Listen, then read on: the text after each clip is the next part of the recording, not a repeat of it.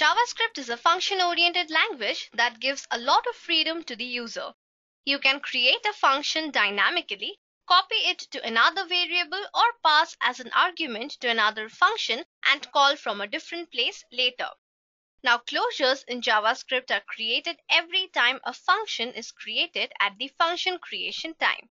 Hi everyone, this is Shantani from Edureka and in today's session we will discuss about closures in JavaScript. Now before we begin the session, let's have a look at today's agenda. So first we will have an introduction to closures and then we will see the different types of closures and what do they actually do. So we will talk about practical closures, then we will see scope chain and finally we will see how closures are used within a loop. Now before we get started, don't forget to subscribe to Edureka's YouTube channel to stay connected. Also, if you are looking for an online training certification in web development, check out the link in the description box below. Now talking about closures in JavaScript, a closure is actually a combination of a function bundled together with references to its surrounding state, that is the lexical environment. In other words, a closure provides you access from an inner function to an outer function's scope. Now, most of the developers use closures in JavaScript consciously or unconsciously. It provides better control over the code when using them. Also, it is the most frequently asked question during any JavaScript interview. Now, let's take an example and see how closure actually works in JavaScript. So here I'm creating a function as FOO and inside this I am declaring a variable x with the value 10. Now I'm calling another function which is the inner function. So here we have the inner function and this will return the value x. Now the next thing to be returned is the function inner. So we have return inner here now let me take another variable as get function inner. So I'm taking this particular variable. Now this particular variable will actually call the function FOO. Now in the form of a variable, we will get the function FOO here. Now let's print the values that we want to see. So we have console.log and we want to get the value for get function inner. Now you can print this as many times you want. It will basically return your function FOO's value the number of times you are printing it. So now you can print it as many number of times as you want to. It will basically take the value from the FOO function and return the value and print it the number of times you give the console.log. So let me copy this and let's print it once again. Now let me save this one so this is the JavaScript file. We have the separate HTML file here where I have linked my example.js, which is my JavaScript file here. So basically when I run this HTML code, it goes to this particular web page where I have welcome to Edureka as the h1 tag. So this is what I get to see. But what happens when I go inside the console of this page?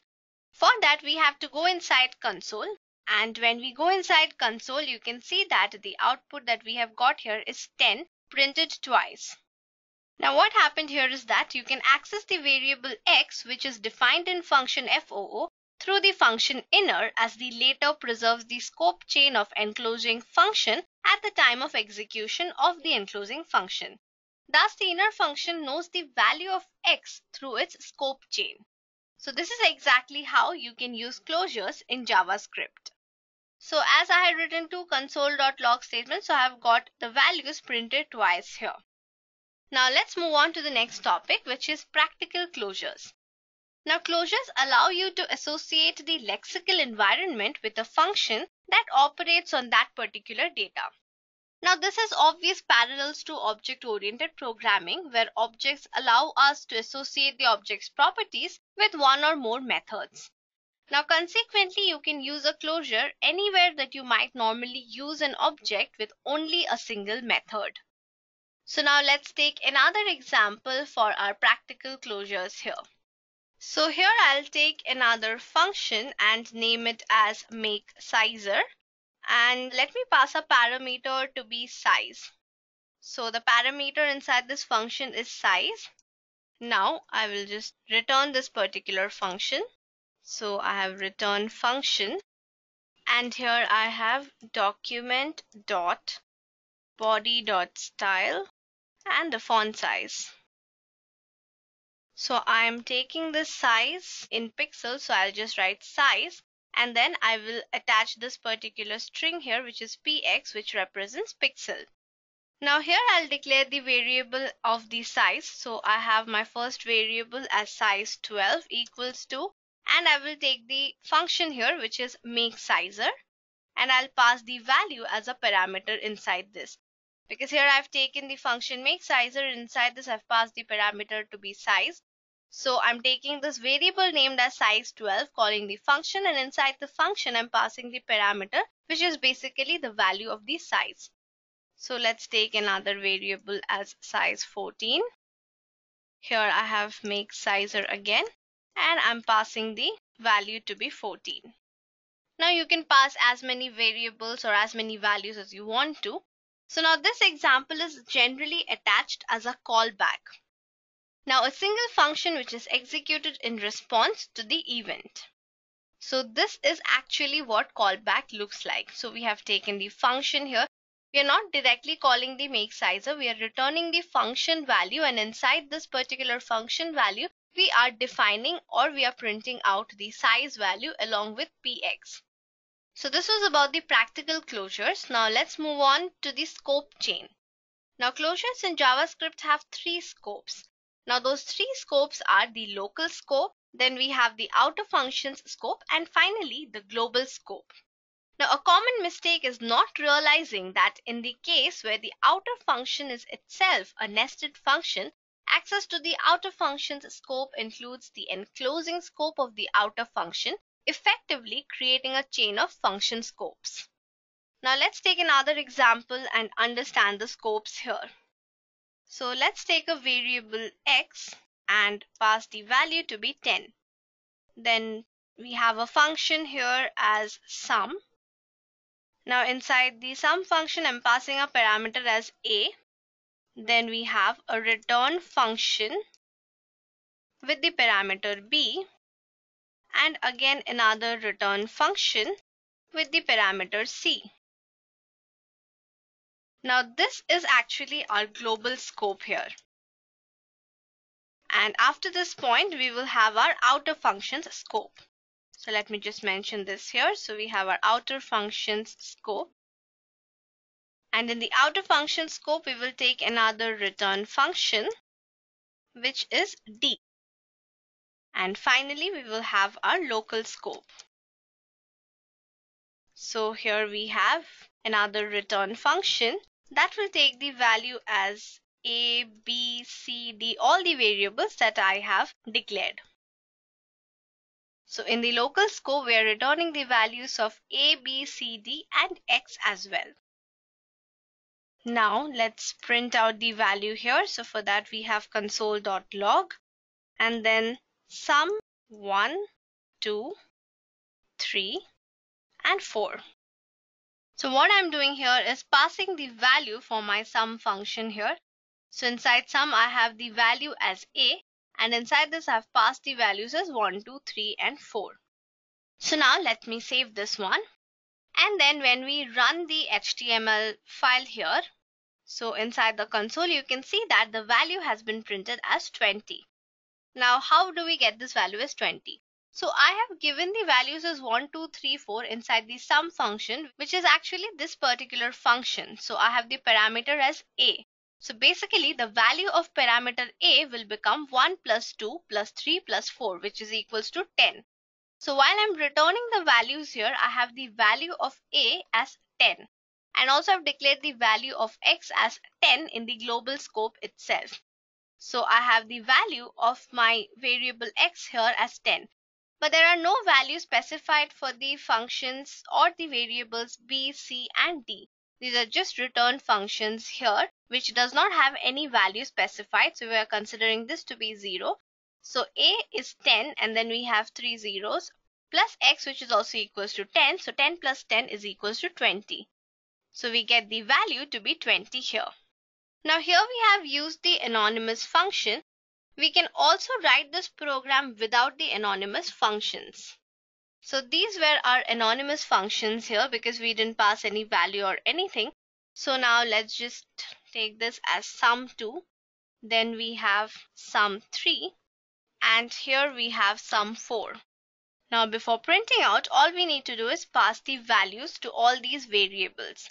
So here we'll take another variable. So what we are taking is the variable s and inside the variable s we are calling the function sum and we are passing the parameter to be 1. So now what happens is I've called this particular function and so I have specified the value to be 1. So basically the value of a becomes 1 now. Now in the similar way what I can do is pass another variable as s1 and then take the value to be s of 2. Now what happens here is that it'll pass this particular value here. This is not the sum function. This is actually our variable s here. In the similar way, we can take another variable as s2 and then go to the previous variable which is s1 and assign the value as 3 and again take another variable as s3 and pass the value to s2 and the parameter value will be 4. Now all we need to do is just console s3 and we will get the result here. So what we will do is console.log and we are just printing out the value of s3.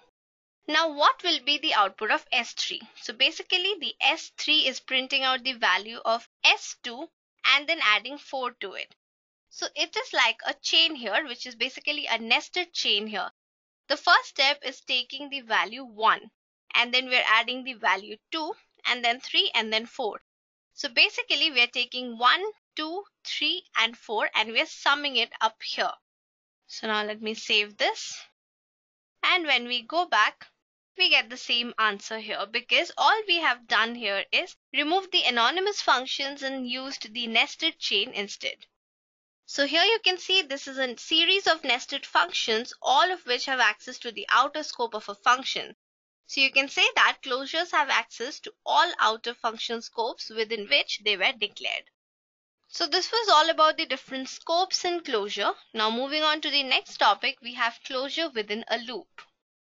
Now talking about loops, you can use closures in JavaScript to store any anonymous function at every index of an array. So let's take an example and see how closures work within a loop. So first we will take a function outer. So the first one is function outer.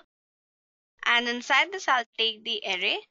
So I'm declaring this array here, but there's no specific value inside this array. And then I'm taking a variable i and I'm passing my for loop here. So here I have for i equals to 0 and i less than 3 then i plus plus that is it's incrementing the value here now after this point, what I'll do is I'll store the anonymous function here. So this is the part where I'm storing the anonymous function. So I have my array. I'm taking the variable as i. So here I'll take the function and return the value of i. So now this was the part where we are storing the anonymous function. But after that, we have to return the array now. So here we will return the array.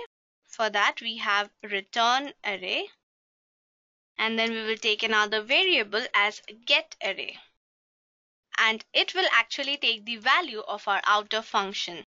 So I'm passing this outer function here and now finally I will take the console.log and take my get array which is passed as a variable and then pass the values for my array here. So in the similar way, you can pass as many values as you want to. So I'll just copy this and print the second value to be 1. And then again, I'll print another value to be 2. So my i value needs to be less than 3 here. Now let's save this. Now when we go to our console and run this again, you can see that the value printed here is 3 and we have printed it three times. So what happens here is in three of these console.log, what we have done is we have taken the variable get array, but we have passed the value of the outer function here. Now what happens inside the outer function is we take the array. So it provides us the value of our array. So here I have 0, 1, 2. So the total length of my array is 3. So it's just passing me the value of my array or the total length of my array here. So this was all about closures in JavaScript and with this we have come to the end of our section today. I hope you have understood how closures actually work in JavaScript and what else can be done and what are the different types and how you can use it inside a loop as well. Now this is basically used to get a better control of the code that you're working on. Now don't forget to share your opinion in the comment section below. Till then, thank you and happy learning. I hope you have enjoyed listening to this video.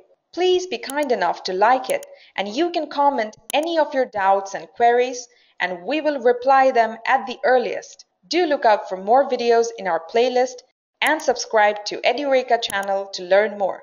Happy learning!